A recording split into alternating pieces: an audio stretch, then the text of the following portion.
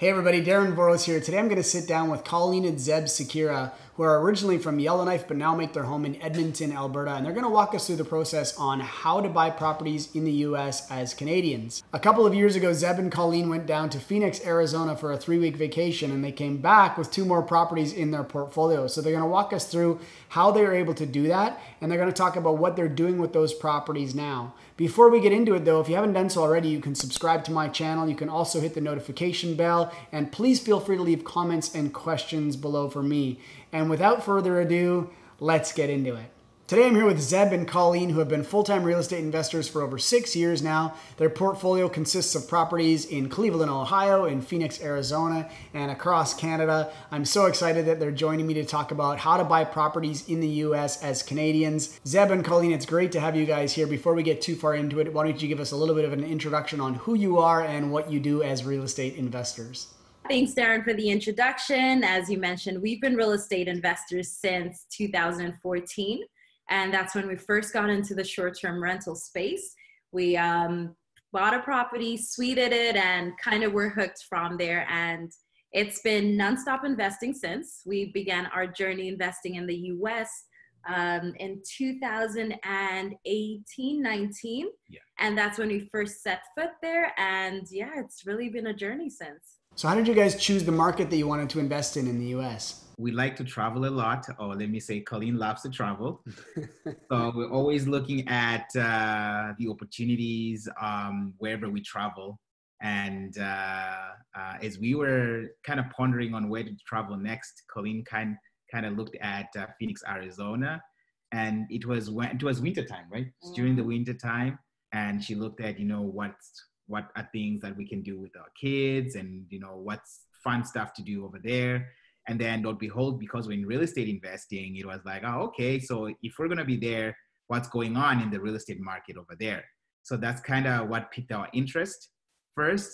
And then we did schedule like a three weeks uh, vacation. So we went there we had fun with the kids and at the same time we're looking at real estate so the biggest thing was finding out where Canadians in the West Side go to vacation, where they go to mm. chase the sun. And during that research, we found that Phoenix, Scottsdale, those areas were really well traveled. And you could tell when you see an airline going there a couple of times a week. And those are the trends that we were looking at to see that if there's a couple of flights by WestJet, Air Canada, and the prices are low enough that they're making enough profit to do a couple of trips, it's a good destination to be. So yeah, like Zeb said, that combined with the love of travel and needing a place to go for ourselves, it sounded like a perfect real estate uh, new venture. So you decide that Phoenix is the market that you want to invest in, or at least do a little bit more due diligence on. What was the next step in the process? Did you go there, or did you start looking at things remotely? So we found a flight that was open. We were able to book the four of us to go down there. And obviously, if you're going to to um, Arizona, in two weeks in March, which we didn't know at that time, finding accommodations will be a nightmare. So our trip started with booking um, a place for the first four days. And because we're adventurous, we're like, let's try one place four days and we'll sort of discover and learn different areas once we get on the ground. But we really got to see different areas in Arizona because of our impromptu trip. We got to see the areas of Phoenix, uh, we got to stay in Tempe. We got to stay in Scottsdale. So it was a downtown. really intense three weeks. Yeah, we got to be downtown as well. So was it the property that you found first and then you decided that you liked that area or did you find an area you liked and then started looking at property? Which order did that happen in? I think for us, we, we looked at the numbers first. We were sort of like uh, making our research on which location uh, fits best for uh, Airbnb and we sort of found that you know the location that's uh, you know closer to the airport, closer to downtown, and uh, uh, where there's a lot of activities, uh, festivals, and stuff like that. So we sort of like concentrated on looking at those locations. We went there with the goal of at least coming out with at least one property, but then we ended up with two because it was just there was a lot of things happening and uh, the cash flow was pretty good in both locations and we just ended up just you know pulling the trigger and getting two instead of one so the first one our realtor kind of took the lead right yeah. we thought it would be best to work with a local expert who knows how to balance because in mm-hmm. arizona there's the summer months which are not as highly trafficked Mm-hmm. And then there's the winter when all of us look to go there. So we thought that a local expert will be the best person to work with who will be able to give us that balance. So our first property was in the South Mountain area. It's got the baseball places around. It's got a good summer market. It's, you know, it was going to give us that summer um, extra income we needed. Considering we are buying towards the end of March, March yeah. we needed to be able to know that we could start creating a reserve fund for that and get income then. So we got that first property. Everything worked out. The numbers were great. Everything else looked great. And uh, as we were kind of wrapping up our trip, we started mm-hmm. doing more research on the ground and connected with another realtor. And he's like, Oh, you guys bought that area. Well, you know what? Scottsdale is actually where you need to be. Yeah. Then that's when we're like, Well, uh, we kind of want to just one property. He's like, No, you cannot leave without seeing it. So we went down to Scottsdale. We saw the place and we're like, Okay, we got to do both. Yeah. So yeah, that's kind of how we got both properties, and we were able to see the market research on both sides. So uh, to assess the strengths of one area versus the other. Scottsdale didn't do as well as South Mountain in the summer. Mm-hmm. But Scottsdale, like on a longer scale, yeah. does a lot better than the South Mountain area. So, what kind of properties were you guys looking at? Did you look at single family dwellings, multi unit, condos? Uh, did you look at all of it? And what ultimately did you end up buying when you went down? when we started we wanted something that was turnkey that we didn't have to you know worry about if anything happens so we started with condos never been to phoenix didn't yeah. know anything about you know the security yeah. issues and all of that so we thought we'd go the risk-free way mm-hmm. uh, where we are able to test the market make mm-hmm. sure because we had seen properties that were freestanding mm-hmm. and at that time we weren't sure about it so we mm-hmm. started off with a condo that we knew that it was a complex it was mm-hmm. protected it was still going to work with the airbnb formula but mm-hmm. that that was our first strategy with the, the, both the properties so were these pre-existing condos or were they pre-construction did you buy from an owner were these buildings a couple years old or were they brand new it was opportunities they yeah. were not brand new brand new condos would cost a lot more, more. which would then impact our cash, cash flow. flow so it was our test market, and we wanted to take a way that was more calculated. Mm-hmm. So we looked at the existing condos that we are just taking over.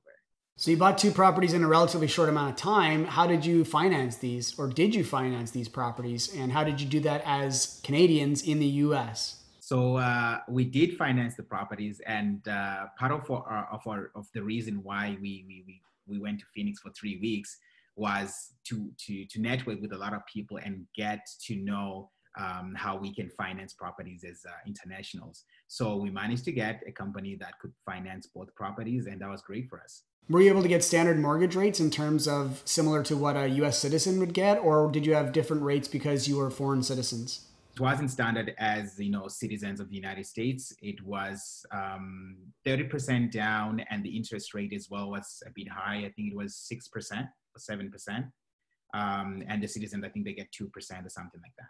So it was more or less, you know, um, the mortgage companies making sure that you know we had enough skin in the game, just to make sure that if we default, at least they have something.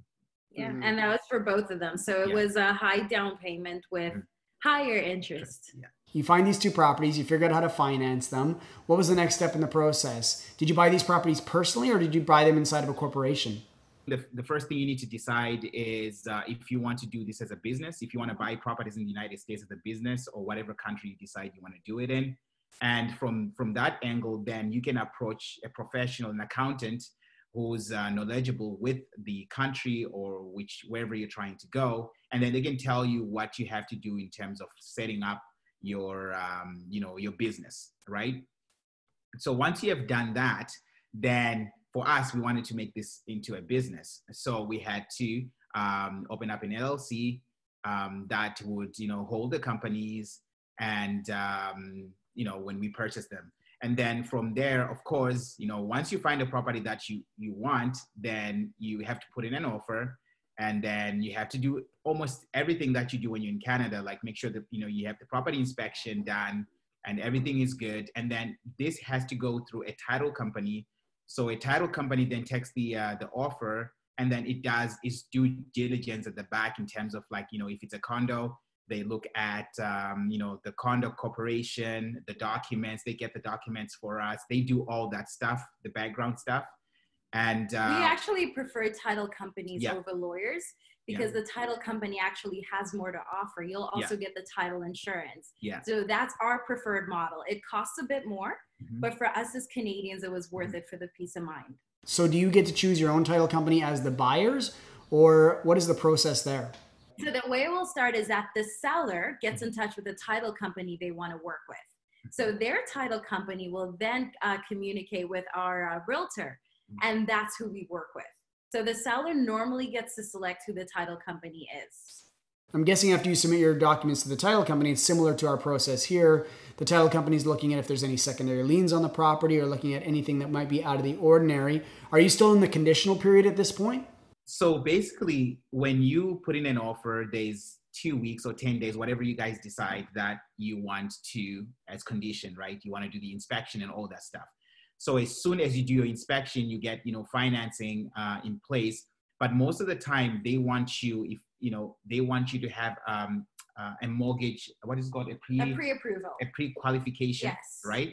So so that they know that you're pretty much serious. That you know you're not playing around with uh, with the seller. And So- that's actually the other difference in the Yeah. U.S. Mhm. that we were not able to put a uh, an offer on a property without attaching a pre-approval to it. So we initially left Canada with a pre-approval from a Canadian bank. yeah. And when we got to the States, we found out that our pre approval was invalid as we were going through the offer process Yeah. because they said that the bank wasn't allowing us to purchase a property specifically in Arizona. We could do it in Nevada, in Atlanta, and another state, but not in Arizona. So that's kind of how we had to put, hold the search back and look for somebody in the US who was able to actually offer us financing.